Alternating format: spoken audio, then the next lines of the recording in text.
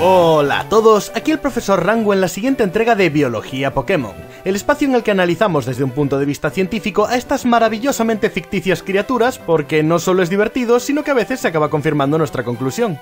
En esta ocasión querría hablaros brevemente de uno de los más famosos Pokémon de la séptima generación, Mimikyu. Probablemente no necesitéis demasiada introducción al respecto ya que le han dado hasta un rap propio, pero por si acaso analicemos sus entradas de Pokédex. Mimikyu es un Pokémon de tipo fantasma hada. Su verdadero aspecto es un misterio total. Un investigador que intentó mirar dentro del saco recibió literalmente un susto de muerte. El saco andrajoso le permite ocultar su aspecto aterrador para acercarse a otros Pokémon o a la gente y así vencer la soledad que lo atenaza. Si durante un combate se le desgarra el saco que usa para disfrazarse, se pasa la noche entera reparando los daños. Sabemos que el aspecto de Mimikyu se ve oculto por un disfraz de Pikachu, que se ha puesto debido a la popularidad de dicho Pokémon porque quería ser amado, pero no podía conseguirlo con su aspecto usual.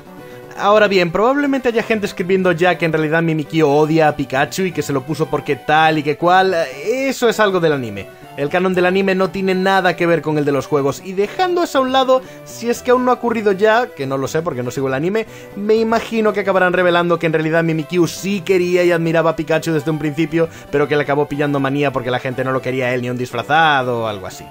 Evitado ya el aluvión de comentarios, comencemos a analizar las posibles identidades de Mimikyu.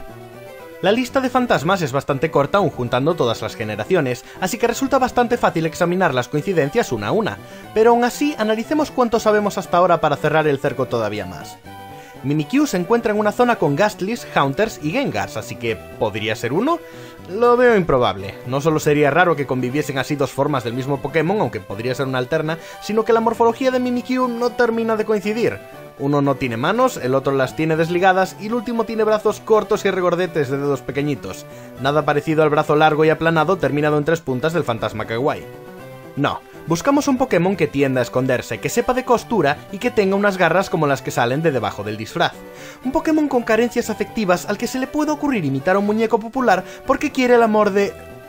Oh... Se me ocurre a alguien que coincide a la perfección. Aquí tenéis a Shapet y Banet, pertenecientes a la misma cadena evolutiva. Shapet es un Pokémon fantasma que se cubre con una tela y se encuentra cerca de sentimientos como los celos y el rencor. El motivo de que cubra su cuerpo es un misterio, aunque podría tener que ver con el motivo de que sea tan celoso y rencoroso. Quizás sufrió rechazo debido a su aterrador aspecto verdadero. Su evolución Banet guarda un enormísimo rencor en sí mismo, y se cuenta que su origen es un muñeco que fue abandonado o arrojado a la basura. Eso es claramente un mito popular o no habría más de uno, pero sí podemos suponer que siente una conexión con este suceso, siendo el abandono la fuente de sus malos pensamientos.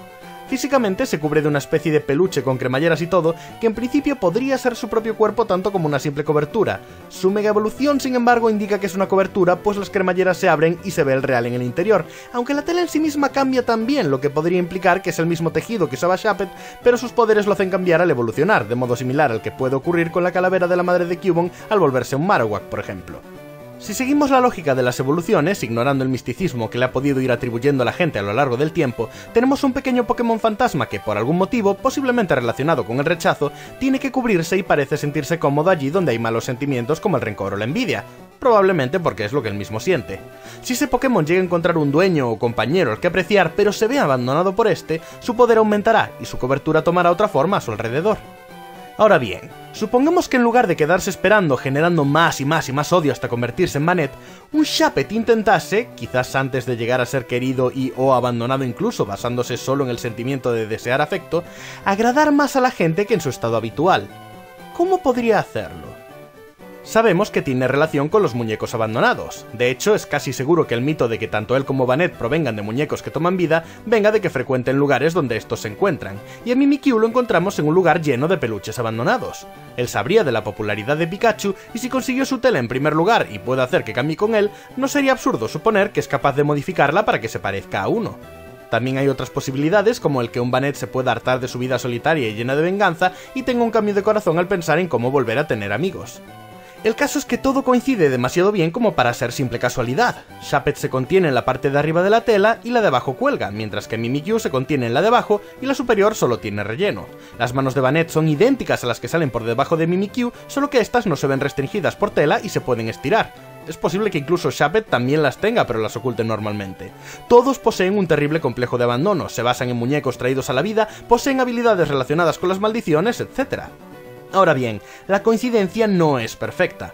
Los tamaños, estadísticas y pesos no son iguales, pero eso siempre podríamos atribuírselo a las diferencias entre las telas que usan, a cambios regionales o a diferencias alimenticias, que es lo que se supone que causa la diferencia del Raichu de Alola. Eso también explicaría la incongruencia en los tipos, que podría venir dada simplemente por su cambio de motivación, pasando de regodearse en su rencor a intentar volver a ser amados. Si nos ponemos esotéricos ya que estamos con fantasmas, a lo mejor la diferencia de peso es una referencia a lo de quitarse un peso de encima, pero ahí ya nos estamos yendo al peligroso territorio del todo vale. Los que creamos teorías en internet lo adoramos, pero debemos mantenernos alejados de él o nos volvemos adictos. Hay diferencias en ataques también, pero volvemos a lo mismo. Por ejemplo, Mimikyu puede utilizar Machada de tipo planta porque su cola falsa de Pikachu es de madera, y tanto Banette como Shapet pueden aprender todas las MT ofensivas de tipo eléctrico de la séptima generación, lo que implica que la posibilidad de que puedan desarrollar poderes eléctricos por su cuenta en la naturaleza no es prohibitivamente baja, especialmente cuando están motivados a ello. No olvidemos que los Pokémon pueden aprender ataques atípicos con su propio poder gracias a tutores, no solo mediante la tecnología de las MT.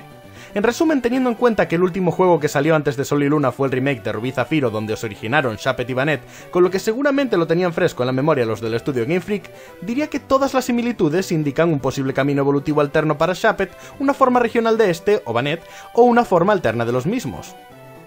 En cualquier caso, no puedo creer que sean tan similares por casualidad, tanto en historia y motivación como en costumbre de cubrirse con telas que puedan remendar, y en sus brazos, que son los únicos iguales entre todos los fantasmas. ¿Vosotros qué pensáis? ¿Fue a propósito o algún diseñador le traicionó al subconsciente tras el remake de Hoenn? Como decía, esta idea se me ocurrió el día anterior a preparar este vídeo, he tardado lo indecible en conseguir tiempo para sacar este vídeo, lo sé. Y no me podía creer cuantísimo sentido tenía, y cómo no se me había ocurrido antes pero he estado evitando información sobre Sol a propósito para no spoilerme el juego antes de terminarlo, así que es posible que muchos hayan propuesto ya esta idea y simplemente no me haya enterado. Si es así, habré hecho el ridículo, pero nada que un disfraz de Pikachu no pueda arreglar, ¿verdad? En cualquier caso, seguiré investigando. ¡Chao!